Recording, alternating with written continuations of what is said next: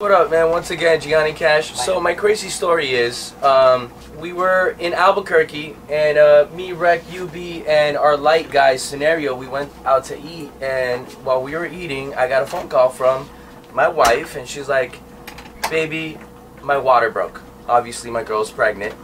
So First I'm like, child, "Oh way. shit, my firstborn." I'm like, "Oh shit, this shit is, you know, it's serious." So I fucking. Let me just throw in that he wasn't prepared. He had bought a ticket for the end of the month, and Oh, he yeah. wasn't planning like she's she wasn't due for another two weeks. That's right. So yeah, so it came two weeks earlier.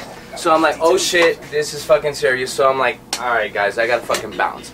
So went went to the bus, grabbed my shit, took a cab to the airport, and basically I'm like, look, I need the fucking uh, uh, a ticket to the earliest. You know, uh, I need to get home er, the fastest Right way now. possible, Yeah, like right away. So the only ticket was a a plane that uh, a flight that was from Albuquerque to California, and then from California to Miami. We're from Miami. So I'm like, fuck, are you fucking serious? And by the way, I missed a flight that I could have been there like in four hours by half an hour. That happened. I missed that flight.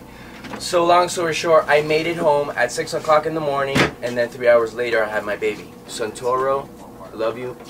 Yeah. So that's my story, man. Pretty fucking crazy, That's bro. a dope You made it home with a couple hours to spare. I, I made it home. Three hours later, I had my firstborn, and then I kind of chilled with them for like you know a few days, and then came back on tour, and um, I made made it back on tour to, to, to play Reno.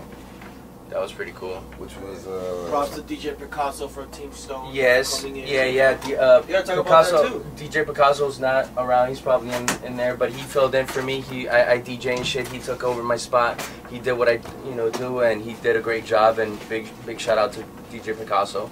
DJ Picasso. You fucking killed it. Team Stone. Yo, That's man. that's uh, uh, Team Stone's DJ right there. Good old tour camaraderie. Yeah, man. its You know what I'm saying?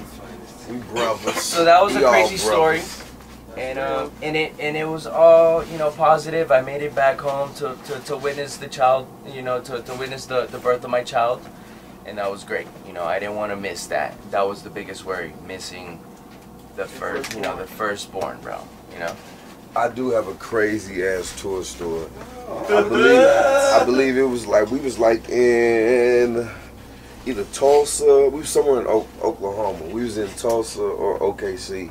But uh this one guy, you know what I'm saying, I vaguely know him. I know him because I go to we go there at least twice a year. But we're in meet and greet. And you know what I'm saying, we're talking, you know what I'm saying, we're talking. He's asking me a bunch of questions. And then the dude was like, Hey Stone, you wanna see my tongue ring? Now from a dude asking another dude, do you wanna see my tongue ring? And I'm not uh I don't hide my emotions very well. You know. That's a thing that I don't do well. So when he did it, uh, he got a real, real reaction. You dig what I'm saying? To that guy, if you listen to this interview, no hard feelings. Sorry if I rubbed you the wrong You way. beat him up like Nah.